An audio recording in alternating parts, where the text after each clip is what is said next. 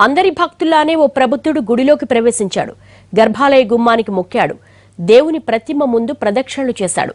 దండం పెట్టి మొక్కు చెల్లించుకున్నాడు. ఇంకేముంది? ప్రసాదమో తీర్థమో తీసుకుని అందరిలాగే ఇంటికి వెళతాడు అనుకుంటే పొరబడినట్లే.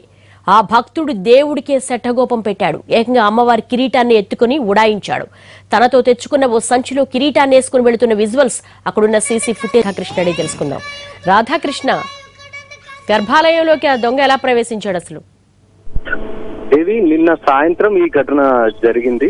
ఆ సమయంలో సాయంత్రం ఆరు గంటల ఇరవై నిమిషాల ప్రాంతంలో అప్పటికే గుళ్ళో పూజారి కూడా లేడు. అతను బయటికి వచ్చేసాడు. భక్తులు ఎవరు లేకపోవడంతో అతను బయట నిలబడి ఉన్నాడు.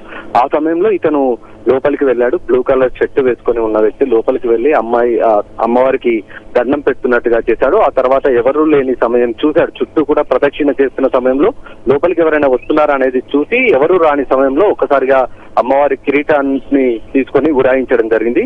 అతను బయటికి వెళ్తున్న సమయంలో కూడా టూ వీలర్ సీసీ కెమెరాలు రికార్డు కావడం జరిగింది.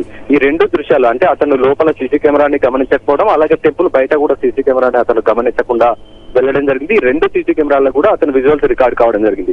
ఒకవైపు అతని ఫేస్ రికార్డింగ్తో పాటు మరొక వైపు టూ వీలర్ నెంబర్. ఈ రెండింటి ఆధారంగా నిందితుడిని గుర్తించే పనిలో ప్రస్తుతం హ్యాబిట్స్ పోలీసులు నిమగ్నమై ఉన్నారు. మరొక వైపు ఈ ఘటనకు పాల్పడింది కూడా ఆ గన్ యాబిట్స్ పోలీస్ స్టేషన్ పరిసర ప్రాంతాల్లో ఉన్న వ్యక్తిగానే ప్రస్తుతానికైతే పోలీసులు అనుమానిస్తున్నారు. రాధాకృష్ణ